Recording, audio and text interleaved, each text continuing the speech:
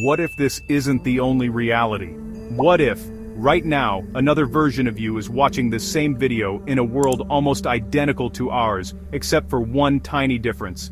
Maybe in that world, the stars formed sooner, maybe Earth never existed, or maybe another you made one small choice a single moment that changed everything. This is the multiverse theory, the idea that our universe might be just one among countless others. It sounds like science fiction, but some of the greatest minds in physics, Stephen Hawking, Michio Kaku, Brian Cox and Neil deGrasse Tyson, have all said it might be real.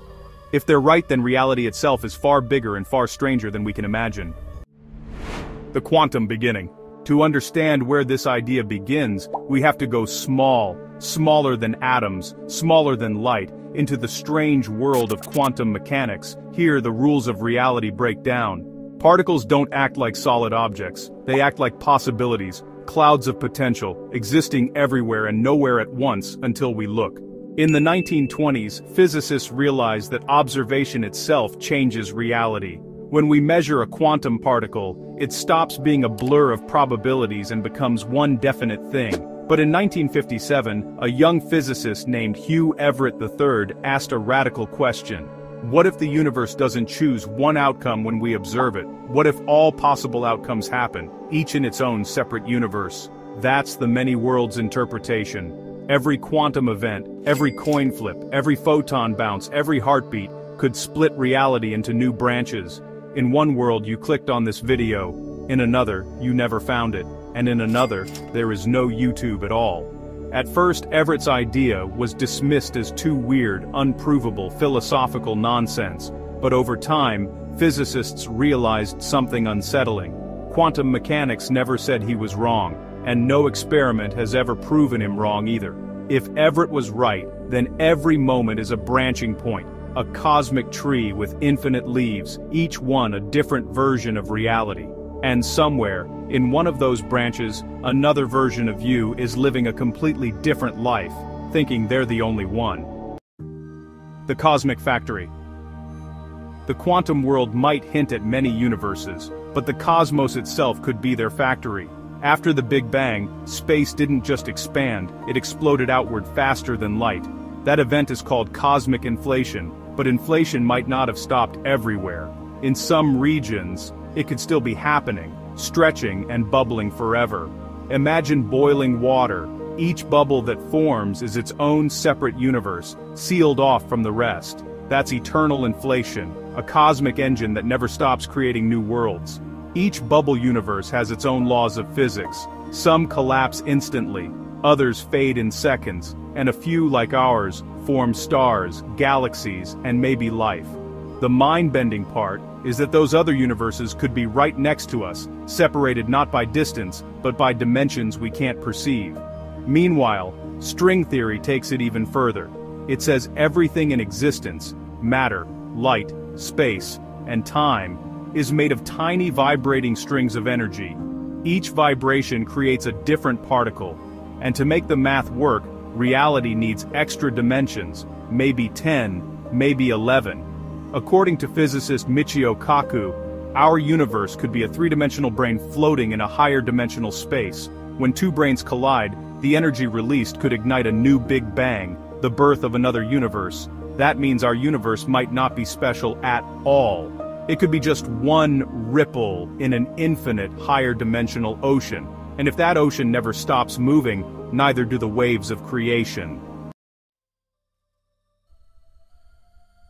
The Great Debate Over time, the multiverse became one of the most fascinating and divisive ideas in all of science. Stephen Hawking believed it could be the natural result of his no-boundary model, a universe with no clear beginning or edge.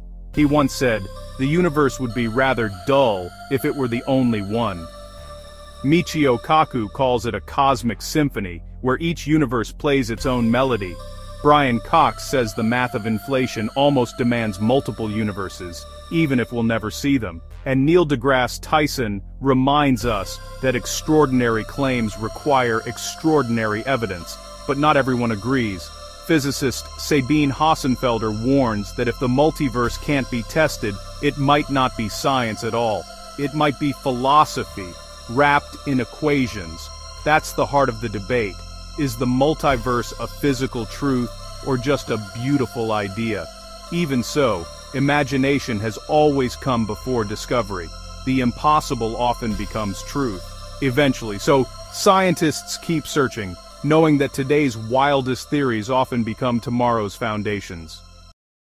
Searching for proof. If other universes exist, how could we ever know? One idea hides in the oldest light we can see, the cosmic microwave background, the faint afterglow of the Big Bang. If our universe ever brushed against another, that collision could leave a scar, a faint ring, or an unusual cold patch in the sky. Astronomers have searched for these patterns for years. Satellites like Planck and WMAP have mapped this light in exquisite detail, and though no smoking gun has appeared, some faint anomalies still whisper the question, what if? Another approach listens for gravitational waves, ripples in spacetime itself. If ancient universes collided, their shockwaves could still echo faintly across the cosmos. Future detectors like LISA, orbiting the sun, might one day hear that hidden hum, a cosmic background chorus from universes long gone. Some clues might come from the numbers themselves, the constants of nature, light speed, gravity, and the charge of the electron seem just right for stars and life. If those numbers were drawn from a larger multiversal lottery, it could explain why we happen to live in a lucky universe. It's not proof, but it's a hint. And then there's the lab. Quantum computers are starting to model branching probabilities, testing the boundaries of quantum superposition itself.